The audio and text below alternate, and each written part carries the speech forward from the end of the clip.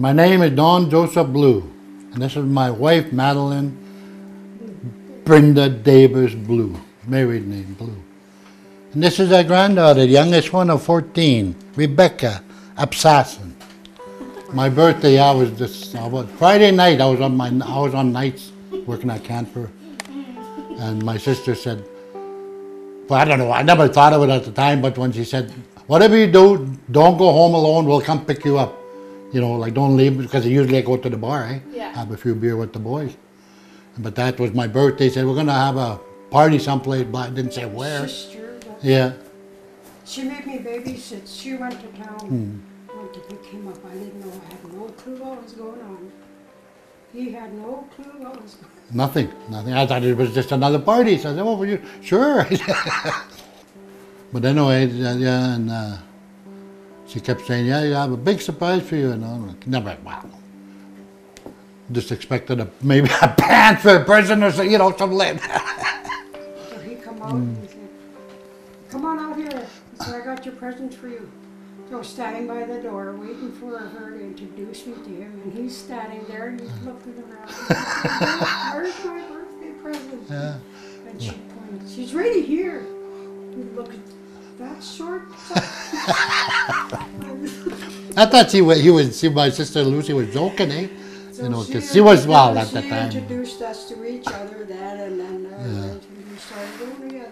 Mm-hmm. I was 15, he was seven. He just turned 17 then. Yeah, and you just turned 15. I Uh, turned 15.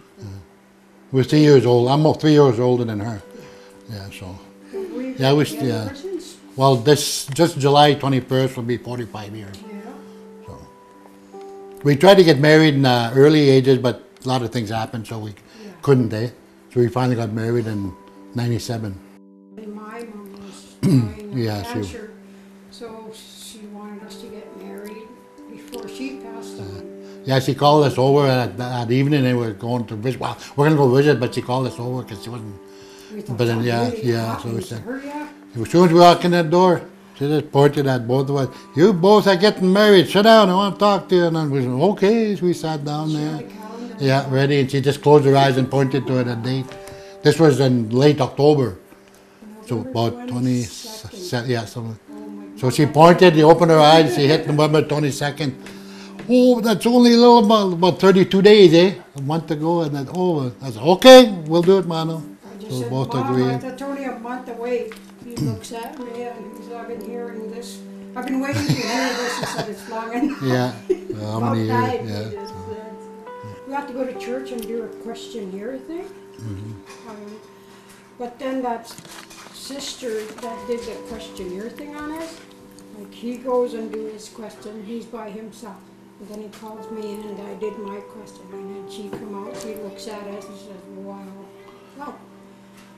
She said, you guys been together long, right? She, uh, yeah, I guess so. I said, You answered them the same. So we answered our questions the same. We couldn't, she said she couldn't believe it. But not many couples do that. Yeah. Documenting, she said, oh, she said she was very. Well, she can read me better than I can read her. Like she knows what I'm actually thinking, you know. And, and I'll, I'll look at her and say, Madeleine, like if I'm sitting down in there or doing something, she knows, like if I get a little hungry or whatever, and I'll look at her and I'll say, I'll just have to say, Madeleine, okay, I'm doing it, you know, and what are you doing? Oh, I'm making a peanut butter sandwich or cooking an egg or soup, whatever. But that's exactly what I wanted, eh? And I like it freaked me out sometimes, eh? You know, I just unreal. I said, we're getting too Yeah. close. But the, the other reason why. And everybody- we, uh, Waited so long to get married is, we got five children. Four daughters and a son. Right, so we waited for them to be old enough so that they can sign for us and walk with us. So my oldest daughter and oldest son, so they were the one that had to sign for us. And then our, all our daughters or in-laws were there. Yeah, my son was my best man. Yeah. It was mostly family and friends, eh? And like I said, the other people that wanted to come fine, it was like town people who, that knew us, and well, everybody knew us. So, but it was nice. It was like crowded, just nice, just comfortable, eh? Yeah, and Hardly any snow yeah, it was Sanok that day. It was everything just perfect. It's warm. Yeah, oh, everything turned out good. You see my wedding picture there? You notice anything about it? Look closely. Not really. I There's don't. no ring. Look at my hand, Oh my gosh! my wedding hand. We got married, and I, I don't know why, but for some reason, I, I she grabbed my right hand, and I didn't even dawn on me. Eh? She said, "Well, saying their vows," and she put the ring on my right hand. Walking out there, and people taking pictures, and I finally looked at that. I don't know about I don't know how long I noticed, about a year down the road. Oh, you didn't notice? No, yeah. They they develop and they put it up and I look, Madeleine, come here. I said, I don't think we're legally married. and Yeah. this time we're gonna do it right. No, What, I he said, look I only and- married once and that's it. Having fourteen grandkids. Well, the first start was, yeah, It's just lovely. I wouldn't have it no other way. me too.